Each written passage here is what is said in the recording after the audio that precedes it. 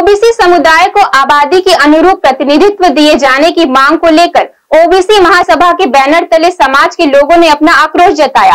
साथ ही रैली की शक्ल में पहुँचे कलेक्ट्रेट महामहिम राज्यपाल के नाम ज्ञापन सौंपा। ओबीसी महासभा के बैनर तले मंगलवार को ओबीसी समुदाय को आबादी के अनुरूप प्रतिनिधित्व आरक्षण दिए जाने की मांग को लेकर समाज के लोग बड़ी संख्या में रैली निकालकर अपना आक्रोश जताया। साथ ही बताया कि देश की संगीत, संवैधानिक व्यवस्था के अनुसार सामाजिक एवं शैक्षणिक दृष्टि से पिछड़े हुए समुदाय को अनुसूचित जाति, अनुसूचित जनजाति एवं अन्य पिछड़ा वर्ग के रूप में तीन वर्गों में वर्गीकृत किया गया है। सामाजिक एवं शैक्षणिक स्थिति के आधार पर अनुसूचित जाति एवं अनुसूचित जनजाति को समानता के अवसर उपलब्ध कराते हुए समुचित विकास एवं उत्थान की व्यवस्था की गई है, लेकिन ओबीसी समुदाय को अविभाजित मध्य प्रदेश में मात्र 14 प्रतिशत आरक्षण, शिक्षा एवं रोज़गार में दिया गया। इस संबंध में न्यूज़ टीम के समक्ष समाज के पदाधिकारियों ने अपनी प्रतिक्रिया दी। हमारी मांग आज से नहीं है। लगभग ये स्वतंत्रता के पहले से हमारी मांग चलती आ रही है, जो बहुत सारी सरकार आती है, जाती है, लेकिन हमारी जो 27 परसेंट आरक्षण की जो मांगे हैं, वो छत्तीसगढ़ शासन के थ्रू जो है अभी तक रुका हुआ है। जबकि अन्य अन्य जैसे कि हम अगर कहते हैं कि झारखंड की बात करते हैं, झारखंड में ये अभी की करंट जो घटनाएँ हैं, उसमें वहाँ लागू कर दिया गया है।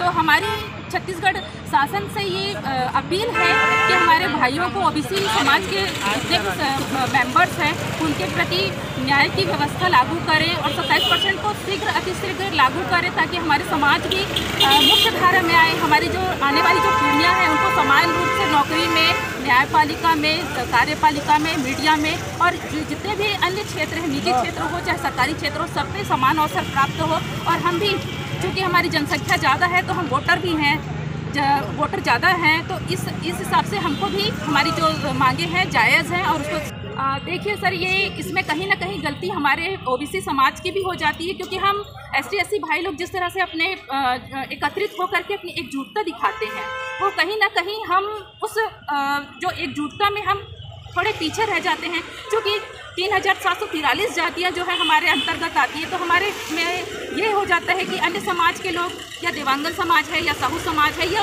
हम एक दूसरे के ऊपर ये दोषारोपण करते हैं कि वो समाज आगे जा कर इस मांग को पूरा करेगा।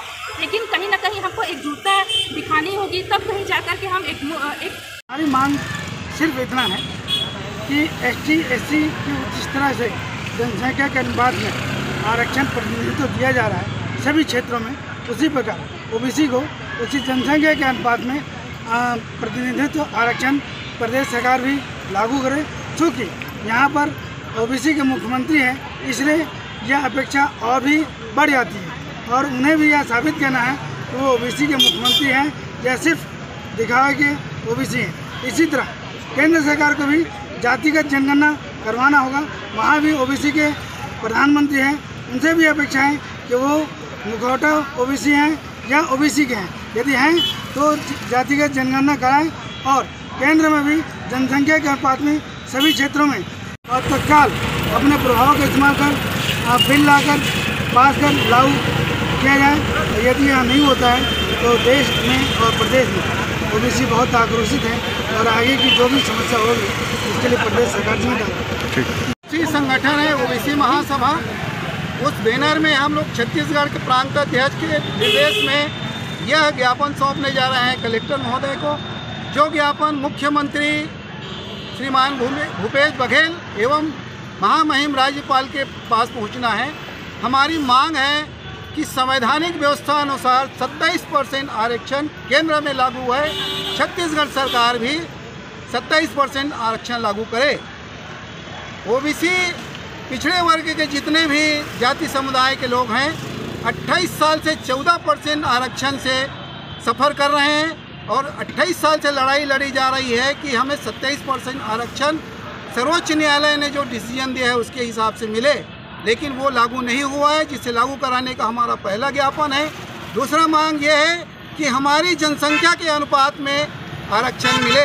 यह केंद्र सरकार लागू करे और जाति जनगणना 1935 के आधार पे नहीं हुआ है। उसके बाद से वो 1935 के बाद अब जाति जनगणना करे, जिसमें यह पता चले कि ओबीसी लोग भी देश में बावन परसेंट से चौंसठ परसेंट की आबादी में हैं। और उनके साथ अन्याय, भेदभाव हो रहा है।